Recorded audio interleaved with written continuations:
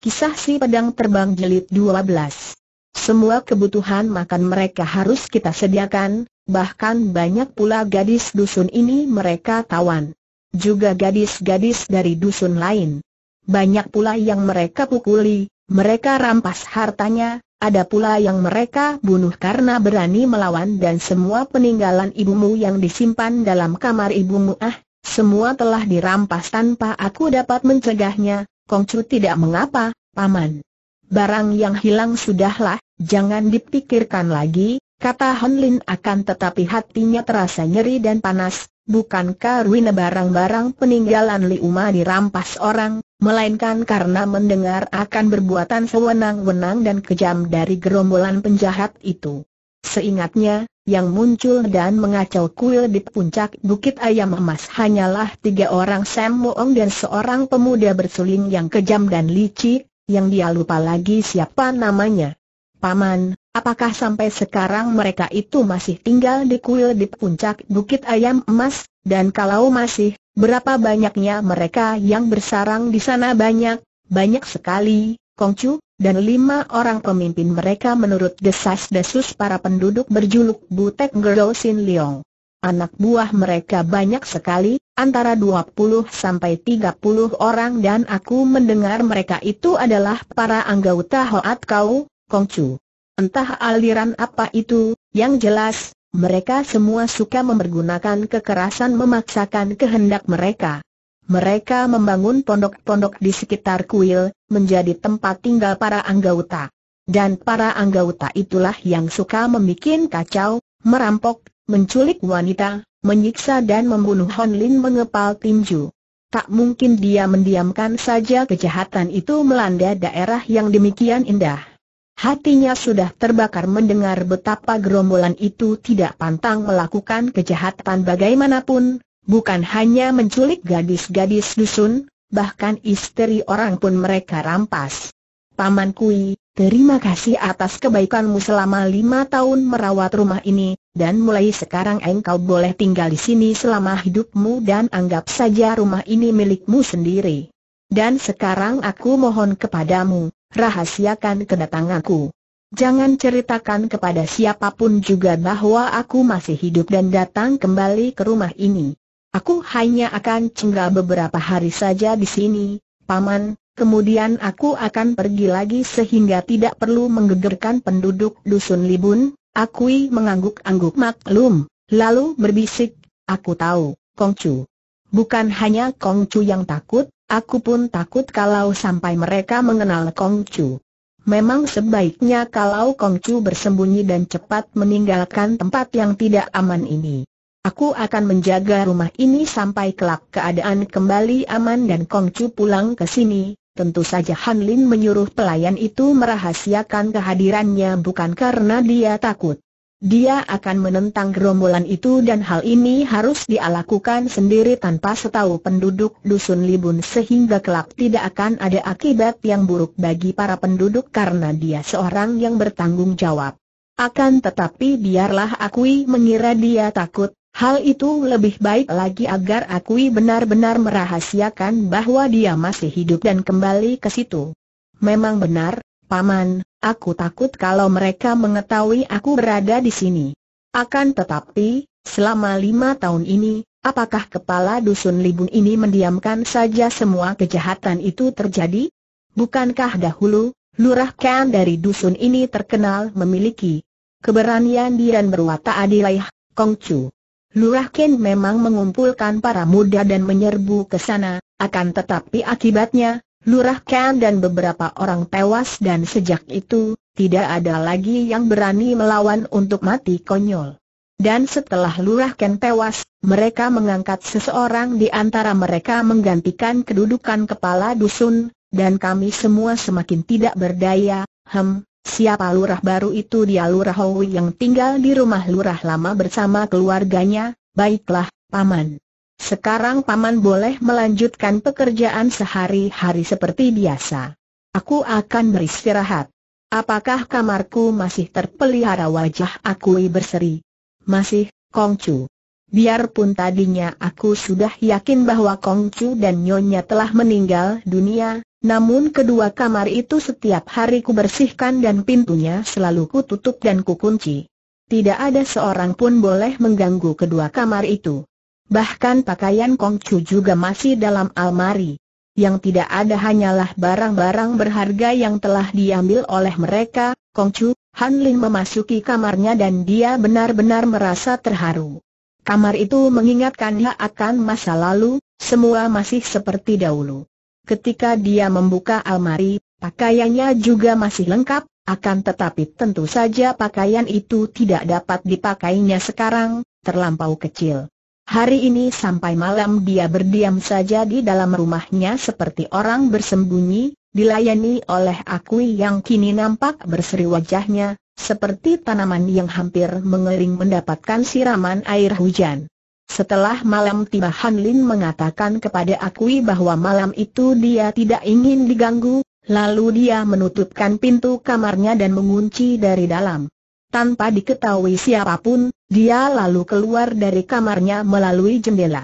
Gerakan Han Lin sudah cepat bukan main, ringan dan cepat seperti seekor burung walet. Kini ditambah kegelapan malam, tidak ada orang akan mampu melihat gerakannya ketika dia berlari dalam kegelapan menuju ke rumah kepala adusun, yaitu Lurah Ong seperti yang dia dengar dari Akui tadi. Menurut Akui, Lurah itu tinggal di rumah besar bekas rumah keluarga Lurah Ken, bersama keluarganya, yaitu tiga orang istri dan lima orang anak. Semua anggota keluarga di rumah Lurah Ong telah tidur nyenyak. Rumah itu telah sepi ketika bayangan hitam itu berkelebat cepat ke atas wuungan rumah, lalu melayang turun ke dalam. Tidak lama Hon Lin mencari-cari di mana kiranya Seng Lurah berada, dia mendengar suara dua orang peronda yang agaknya bertugas jaga di rumah kepala dusun itu. Dia segera menyelinap di balik sudut tembok. Wah, yang paling senang adalah Hong To aku, ya. Menjadi lurah, istrinya banyak, mendapat kehormatan SSTTT, hati-hati kau bicara. Kalau terdengar olehnya, engkau tentu akan dihajar, dia tidak akan mendengar. Dia sedang terlelap dalam pelukan istrinya yang terbaru, istri yang keempat dan kamarnya di ujung belakang. Tidak akan dapat mendengar suara kita, sudahlah, jangan mengiri. Kalau engkau ingin mendapatkan tempat yang enak, bekerjalah lebih keras, membuat jasa sebesarnya dan tentu pemimpin kita akan memberimu kenaikan pangkat. Han Lin membiarkan mereka lewat dan setelah mereka jauh, baru dia keluar dari tempat sembunyinya dan cepat menuju ke kamar di ujung belakang. Dari cahaya yang pu kecil, yang remang-remang, dia melihat dalam intayannya seorang laki-laki yang usianya sekitar 45 tahun tidur mendengkur di samping seorang wanita muda yang cantik, dan wanita itu nampak menangis lirih, hampir tanpa suara. Han Lin dapat menduga bahwa wanita muda itulah selir keempat dan agaknya diselir oleh Seng Lurah secara paksa, mungkin direnggut secara paksa dari tunangannya, atau bahkan suaminya, atau orang tuanya. Tanpa mengeluarkan suara, dia membuka jendela, melompat masuk dan sebelum wanita itu tahu apa yang terjadi, Tangan Hon Lin menyambar dan wanita itu pun terdiam, pingsan tanpa melihat apa pun sebelumnya. Agaknya gerakannya itu menimbulkan sedikit goncangan dan Seng Lurah yang sedang mendengkur itu, menghentikan dengkurnya. Akan tetapi, dia pun tidak sempat membuka mata karena begitu tangan Hon Lin bergerak, dia sudah tidak tahu apa-apa lagi dan pingsan.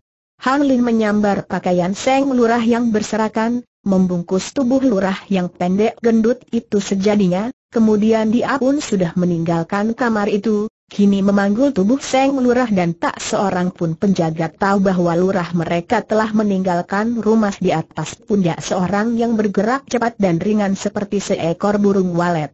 Pagi-pagi sekali, Han Lin membebaskan totokannya dari tubuh lurah yang sebetulnya adalah seorang tokoh Hoat Kau bernama Ou Tit dan yang oleh para pimpinan Hoat Kau ditugaskan untuk menjadi lurah di Dusun Libun. Mereka berada di sebuah lereng dan dekat sebuah pondok bambu. Sejak ditotok pingsan, Ou Tit tidak tahu apa yang terjadi, dan kini, begitu totokannya bebas, dia terkejut, membuka mata dan melihat dirinya berada di dekat pondok, di lereng bukit yang sunyi dan hari masih pagi sekali, Matahari baru mengirim cahayanya sebagai tanda bahwa fajar telah menyingsing. Dia merasa tubuhnya yang semalam tidak dapat bergerak itu kaku-kaku dan melihat dirinya setengah telanjang, dengan pakaiannya hanya dibungkuskan di tubuhnya dia terkejut dan cepat dia mengenakan pakaiannya sehingga kini nampak patut, lalu dia memandang kepada pemuda itu dan nampaklah sikapnya yang jagoan dan sudah biasa memerintah. Hei, apa yang terjadi? Di mana aku dan bagaimana dapat berada di sini? Siapa pula yang kau? Hayo mengaku sejujurnya. Melihat sikap ini, di dalam hatinya Han Lin merasa muak sekali. Sungguh merupakan seorang yang berwatak amat buruk dan jelas orang macam ini tentu jahat dan kejam. Orang Xiao, akulah yang membawamu ke sini, mengambilmu dari tempat tidur di kamarmu, katanya tenang. Orang pendek gendut itu melotot dan mukanya menjadi merah karena marah. Apa? Berani kau? Sudah ingin mampus, ya dan dia pun sudah menerjang maju dan kedua tangannya bergerak cepat melakukan serangan. Bagaimanapun juga, dia adalah seorang anggota Hoat Kau yang sudah ada tingkat, maka tentu saja dia pandai ilmu silat. Serangannya dengan kedua tangan bertubi-tubi itu juga mengandung tenaga besar dan cepat. Plak! Duk penyerang itu mengadu-adu dan mengguncang-guncang kedua lengannya yang terasa seperti patah-patah tulangnya ketika bertemu dengan lengan Hon Lin akan tetapi dasar orang tak tahu diri, setelah rasa nyeri agak berkurang, dia menyerang lagi semakin ganas, bahkan kini menyusuli pukulannya dengan tendangan kakinya yang pendek dan besar. Han Lin tidak sabar lagi. Dia menangkap kaki kanan yang menendang, mendorong kaki itu ke atas sehingga tubuh Outi terlempar ke atas. Buk pantat yang gemuk itu terbanting keras, membuat pemiliknya menyeringai kesakitan. Dia bangkit lagi, menyerang lagi hanya untuk roboh lagi karena terkena tamparan tangan kiri Han Lin pemuda ini hendak menaklukkan dan menundukkan bukan hendak membunuh maka tenaga pukulannya juga terkendali, tidak terlalu keras namun cukup membuat lawan terpelanting keras. Dasar orang bandel yang sudah memperoleh kedudukan sehingga merasa paling menang, Outit bangkit lagi dan mengeluarkan suara gerergan seperti binatang buas. Karena ketika dibawa ke situ dia tidak bersenjata, maka melihat sebuah dahan kering di bawah pohon, dia lalu menyambar dahan kering itu dan mempergunakannya sebagai senjata, menyerang lagi dengan membabi buta. Akan tetapi, begitu dia menghantamkan dahan kering itu, Han Lin mendahuluinya, tongkat bambunya menyambar dan menotok pundak, membuat Outi terpelanting lagi dan tidak mampu bangkit kembali, hanya melotot marah. Han Lin maklum bahwa dia menghadapi seorang yang kasar dan bandel, maka dia lalu mempergunakan ujung tongkatnya menotok beberapa kali ke arah tubuh si pendek gendut dan kini tubuh itu bergulingan di atas tanah berteriak mengaduh-aduh, berkelojotan dan dalam kesakitan yang hebat. Aduh mati aku aduh ampun, ampunkan aku akhirnya dia menangis dan minta-minta ampun. Karena memang bukan niat Hon Lin untuk menyiksa orang, maka begitu orang itu minta ampun, hal yang diharapkan dengan menotok mendatangkan kenyerian itu, dia lalu membebaskan totokannya. Outit tidak menderita nyeri lagi, hanya tubuhnya masih lemas dan panas dingin karena kini dia mengerti bahwa dia menghadapi seorang yang amat lihenan. Sekarang apakah engkau masih hendak melawan? Kalau engkau masih membandel, bukan saja aku akan membuat engkau tersiksa seperti tadi, hidup tidak mati pun tidak, aku akan menyiksa pula empat orang istrimu dan semua anak-anakmu. Bagaimana ampun, Tai Hiap, aku menyerah kalah, Aku minta ampun akan tetapi, rasanya aku tidak pernah mengenal Tai Hiap dan tidak ada urusan di antara kita, kenapa Tai Hiap memperlakukan aku seperti ini aku tahu, engkau lurah O dari Dusun Libun dan engkau adalah anggota Hoat. Kau benar, benar sekali, Tai Hiap.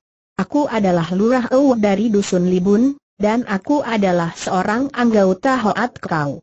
Karena itu, dengan melihat Hoat kau, tentu Tai Hiap tidak akan membunuhku hem, justru karena engkau Wang Hoat kau, aku ingin sekali menyiksamu, menyiksa seluruh keluarga Mohon Lin membentak dan si pendek gendut itu menjadi pucat. Ampun, Tai Hiap, ampunkan aku, anakku masih kecil-kecil dia meratap. Baik, aku akan mengampuni dan mengampuni semua anak istrimu asalkan engkau suka menurut semua kehendakku. Nah, sekarang ceritakan tentang Hoat kau yang telah menduduki kuil di Bukit Ayam Emas. Apa hubungan Hoat kau dengan Sam Moong? Ceritakan semua dengan sejujurnya. Karena sudah tidak berdaya sama sekali dan takut kalau-kalau dia dan seluruh keluarganya dibasmi oleh pemuda yang luar biasa lihainya itu, Ong Tit membuat pengakuan. Andai kata dia belum pernah dijadikan kepala dusun, belum pernah mengenyam kesenangan dan kemuliaan sebagai kepala dusun dengan banyak istri dan anak, mungkin dia akan berkeras tidak mau mengaku, bahkan mungkin memilih mati seperti banyak dilakukan para anggota Hoat Kau yang fanatik. Akan tetapi, kesenangan duniawi telah mengikatnya erat-erat dan karena ingin selamat sekeluarga, dia pun membuat pengakuan dengan suara tersendat-sendat. Dari mulut Tau Tit, Han Lin mendengar semuanya. Kiranya Sam Moong adalah kaki tangan bangsa Mongol yang ingin menguasai kerajaan Teng, dan Sam Moong mengajak Hoat Kau bersekutu untuk bersama-sama menggulingkan kerajaan Teng. Dan kuil di Bukit Ayam Emas itu dijadikan semacam sarang oleh Hoat Kau untuk mengadakan hubungan dengan para utusan Mongol. Kalau Hoat Kau membuat gerakan dari pusat atau cabang, tentu akan terlalu menyolok dan diketahui pemerintah, maka tempat di Bukit Ayam Emas itu menjadi semacam sarang rahasia. Han Lin mengangguk-angguk. Kiranya mereka itu bukan memusuhi penduduk Dusun Libun atau membunuh para HWSO di kuil karena permusuhan pribadi, melainkan karena gerakan yang lebih besar lagi, yaitu untuk memberontak terhadap kerajaan. Ini sungguh berbahaya sekali, terutama bagi penduduk Dusun Libun, karena mungkin saja pemerintah akan menganggap bahwa seluruh penduduk Dusun Libun menjadi anggota pemberontak. Sekarang ceritakan siapa saja yang tinggal di puncak Bukit Ayam Emas, berapa orang dan siapa pemimpinnya kata pula Hon Lin dan suaranya tetap tegas dan penuh wibawa karena diam-diam dia mengerahkan kekuatan batin seperti pernah dia pelajari dari mendiang Kun Ho yang ahli sihir. Pengaruh sikap dan suara Han Lin itu sungguh kuat dan pada saat itu, Ong Tit melihat Han Lin sebagai seorang yang amat menyeramkan dan menakutkan. Karena itu, dia pun dengan terus terang menceritakan bahwa anak buah Hoat Kau yang tinggal di puncak Bukit Ayam Emas ada kurang lebih 50 orang dan yang memimpin mereka adalah Butek Gerdo Sin Leong, lima orang tokoh besar Hoat Kau. Akan tetapi, saat ini Butek Gerdo Sin Leong tidak berada di sana, karena mereka pergi ke Bukit Harimau, di luar kota Anking untuk menghadiri ulang tahun Hoat Kau yang akan dirayakan besar-besaran dan mengundang semua partai persilatan dan aliran, Han Lin tertarik. Kapan akan diadakan perayaan itu bulan depan, Nan? Sekarang engkau harus ikut denganku ke kota Namsan. Di sana, di depan kepala daerah, engkau harus membuat pengakuan seperti yang kau ceritakan kepadaku, Ong Tit terbelalak, mukanya pucat. Tapi-tapi, Tai Hiap. Titik koma. Aku tentu akan ditangkap dan dihukum hem, engkau memilihku siksa dengan seluruh keluargamu, mati perlahan-lahan? Begitukah Han Lin mengangkat tongkat bambunya mengancam? Ampun. Tidak, tidak, Tai Hiap, kalau begitu, engkau harus membuat pengakuan di depan kepala daerah dan mungkin keluargamu akan terhindar dari hukum. Hayo Han Lin menarik tangan orang itu dan dibawanya berlari cepat menuju ke kota Nam Sam yang merupakan kota kabupaten yang membawahi Libun. Para penjaga di kantor Bupati Chu segera membawa Han Lin dan Ou Tit menghadap pembesar itu. Chu Taijin, pembesar Chu, memandang kepada mereka dengan heran, lalu menegur, sambil menudingkan telunjuknya kepada Ou Tit. Bukankah engkau Ou Tit? Lurah Dusun Libun yang menggantikan Lurah Ken yang tewas oleh gerombolan penjahat itu ampun, Taijin, kata Hon Lin lantang, saya ingin melaporkan keadaan di Libun. Dahulu, lima tahun yang lalu, Lurah Ken tewas di tangan gerombolan penjahat, dan Ong Tit ini adalah orangnya gerombolan itu yang sengaja diselundupkan dan dengan memaksa penduduk, dia dipilih menjadi lurah baru. Seluruh dusun dan wilayah Libun kini telah dikuasai gerombolan yang amat berbahaya karena mereka berniat melakukan pemberontakan terhadap kerajaan Teng, Taijin, tentu saja Bupati Chu terkejut bukan main. Siapakah engkau, orang muda nama saya Sia Hanlin, penduduk dusun Libun, Taijin, kemudian Hanlin menghardik Outit. Hayo engkau cepat membuat pengakuan di depan Taijin Bupati Chu memberi isyarat dan lima orang prajurit pengawal segera datang ke ruangan itu dengan golok di tangan untuk menjaga segala kemungkinan karena tentu saja hati Bupati itu merasa khawatir bahwa lurah dusun Libun itu dikatakan sebagai anggota gerombolan penjahat yang mempunyai niat memberontak. Ceritakan semuanya dengan sejujurnya bentaknya kepada Ong Tit. Ong Tit merasa terjepit.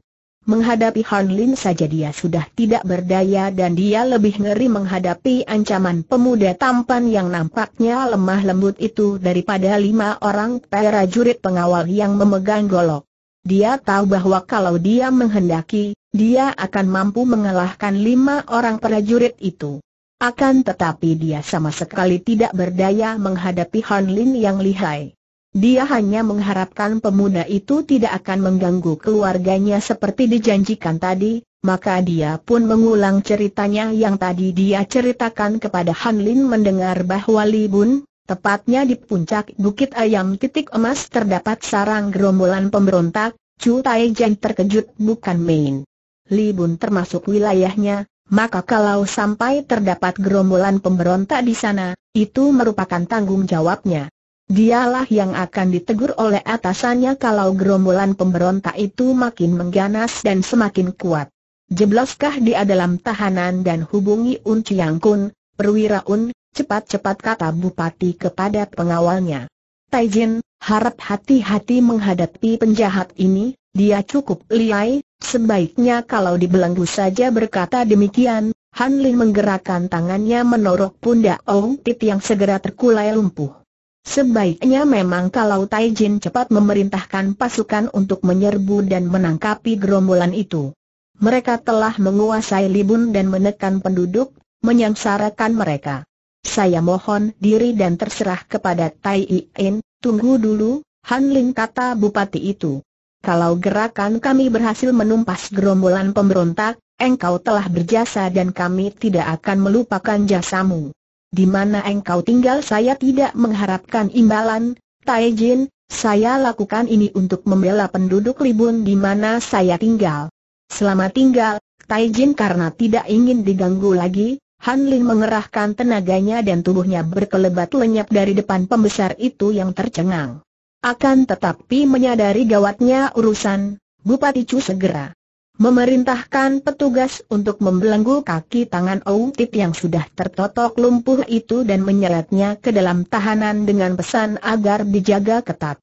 Kemudian dia mengadakan hubungan dengan komandan pasukan di benteng terdekat dan tak lama kemudian, sepasukan prajurit yang terdiri dari 200 orang bergerak menuju ke Dusun Libun, dipimpin oleh beberapa orang perwira siapa pun juga di Deusun itu, Maaf ada halaman yang hilang, demikianlah, selagi mereka kebingungan dan sudah mengambil keputusan bahwa kalau sampai sore hari Lurah Ou belum juga pulang mereka akan melapor ke kuil di puncak Bukit Ayam Emas, maka mereka melihat seorang pemuda memasuki pekarangan dan dari luar berdatangan pula sepuluh orang pemuda dusun di luar pekarangan.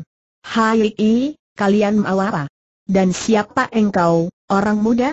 Apa perlumu masuk ke pekarangan ini bentak seorang di antara sepuluh orang jagoan pembantu lurah Oo itu dengan sikapnya yang galak. Teman-temannya juga sudah maju mengepung Hon Lin dengan setengah lingkaran.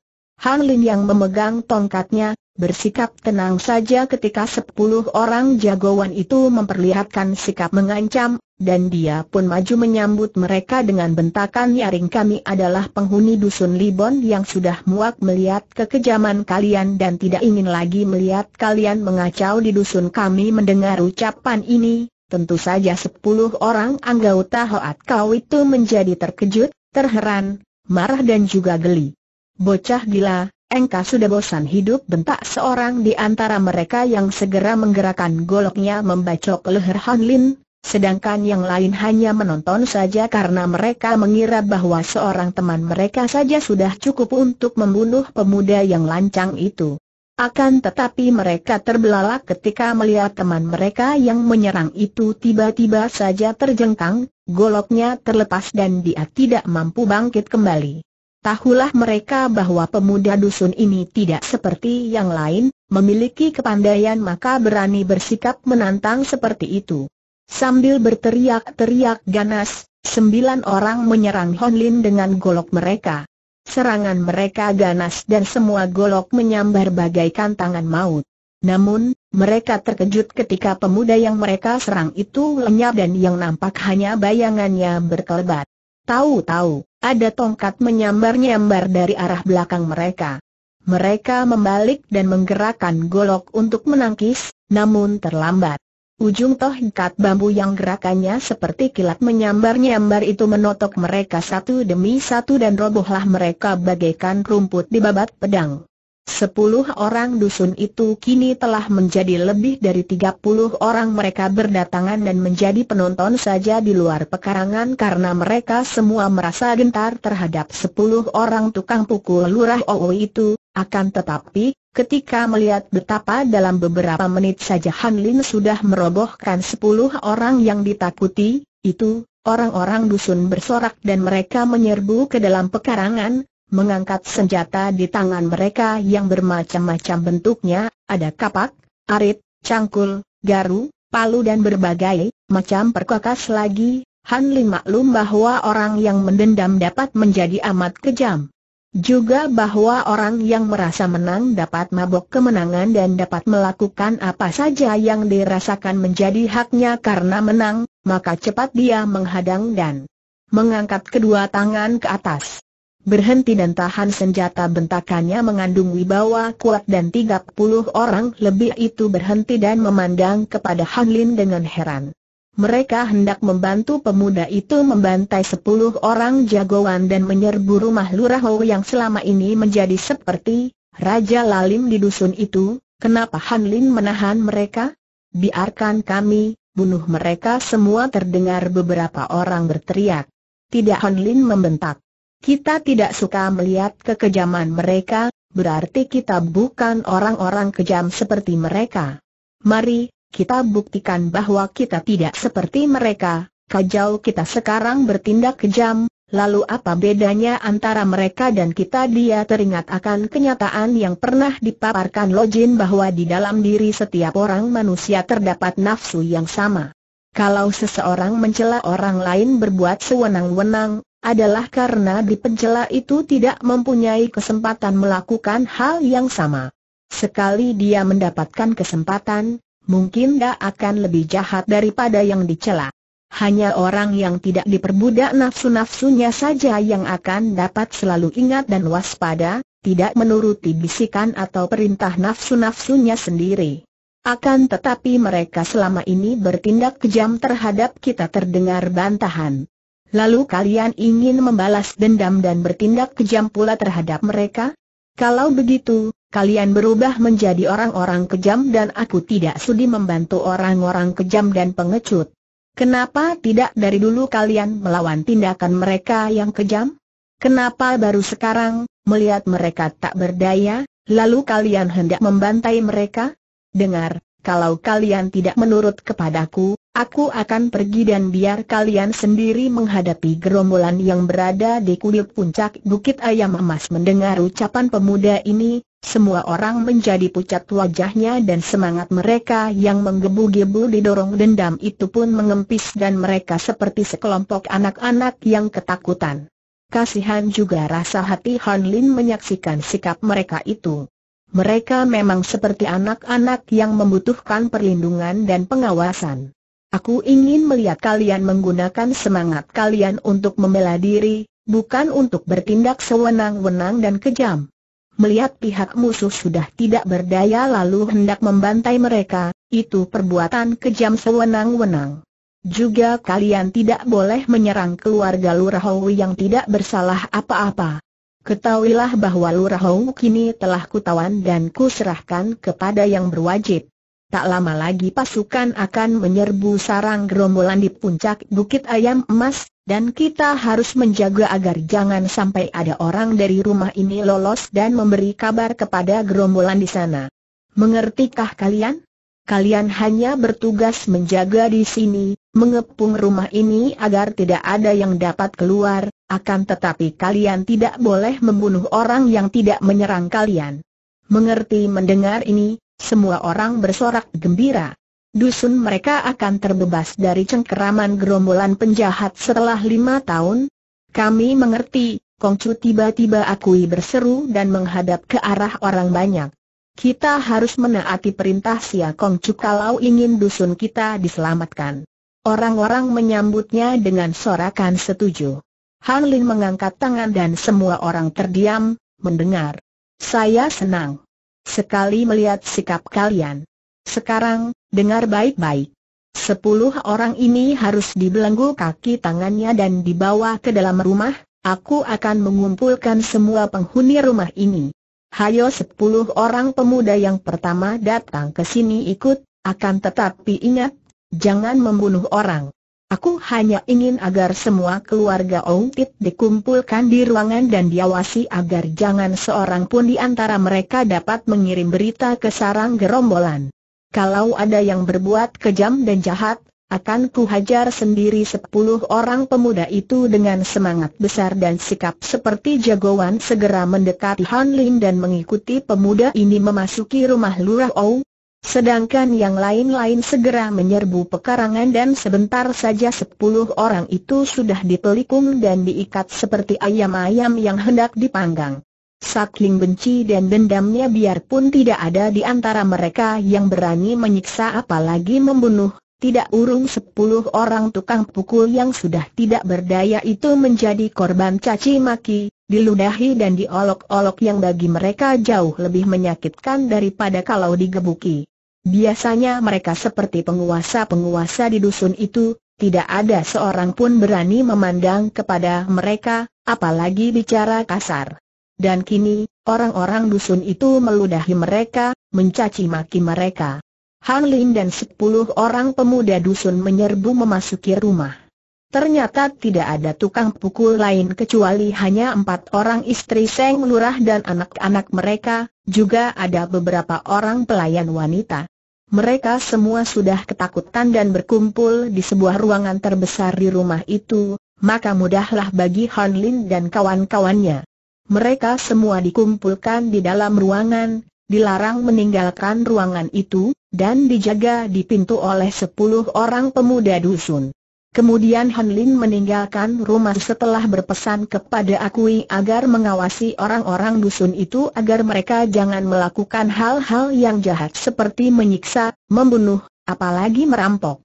Sejak lima tahun yang lalu, kuil di puncak Bukit Ayam Emas telah dijadikan sarang oleh Hoat Kau yang bertugas mengadakan hubungan dengan pihak Mongol yang diwakili oleh utusan mereka, yaitu Sam Moong, tiga orang datuk besar yang sakti. Dan selama lima tahun ini, mereka telah melakukan banyak hal yang bagi mereka merupakan kemajuan dalam kerja sama mereka. Pihak Sam Moong membantu orang-orang Mongol menundukkan saingan-saingan mereka, yaitu suku-suku bangsa lain yang juga ingin meluaskan kekuasaannya di wilayah kerajaan Teng dan memaksa suku-suku bangsa yang lebih kecil untuk bergabung dan membantu orang Mongol. Adapun pihak Hoat Kau yang diwakili oleh Butek Gerdo Sin Leong, lima orang tokoh Hoat Kau, bergerak menalukan partai-partai persilatan dan aliran-aliran lain untuk menguasai dunia Kangong. Kalau kerjasama ini berhasil, maka kerajaan Teng akan menghadapi pasukan Mongol yang dibantu oleh suku-suku bangsa lain dan dunia Kangong. Untuk hubungan kerjasama di antara mereka, pihak Sam Moong mewakilkan kepada An Senggun, putra mendiang alusan yang diaku anak oleh kakeknya sendiri, yaitu Kwe Ijau Lomo, seorang di antara Sam Moong.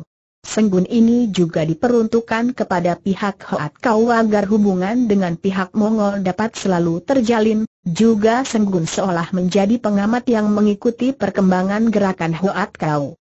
Ketika Han Lin kembali ke Libun, Kebetulan sekali sarang Hoat Kau di puncak Bukit Ayam Emas itu ditinggalkan para pemimpin besarnya.